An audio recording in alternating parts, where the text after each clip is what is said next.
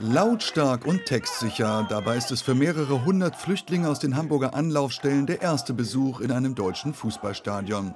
Dank einer Freikarte vom FC St. Pauli. In Hamburg haben die meisten Leute ein Lächeln für uns Flüchtlinge über. Man fühlt sich willkommen.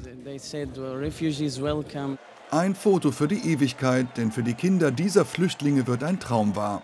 Rund 30 von ihnen dürfen den Fußballstars so nah sein wie niemand sonst als Einlaufkinder an der Hand zum Beispiel von Dortmunds Neven Subotic, der einst selbst als Kind mit seinen Eltern aus Bosnien-Herzegowina nach Deutschland geflüchtet ist. Um ehrlich zu sein, als wir mit den Kindern eingelaufen sind, musste ich einmal ganz tief schlucken. Ähm, man kann sich nicht vorstellen, ich kann mir nicht vorstellen, was die Leute durchgemacht haben, um nach Deutschland zu kommen. Die Aktion der beiden Clubs ein Zeichen nach außen. Seht her, ihr seid willkommen. Ein Anfang, mehr aber nicht. Das Entscheidende ist letzten Endes, dass wir damit äh, natürlich nur darauf aufmerksam machen wollen, äh, dass es auch weitergehen muss.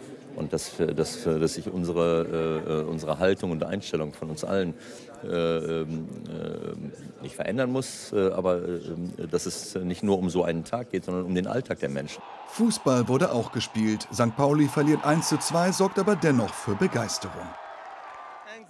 Vielen Dank, Deutschland. Ein schönes Land und Hamburg ist toll. Willkommen, Flüchtlinge. Der FC St. Pauli und Borussia Dortmund haben durchaus ein Zeichen gesetzt.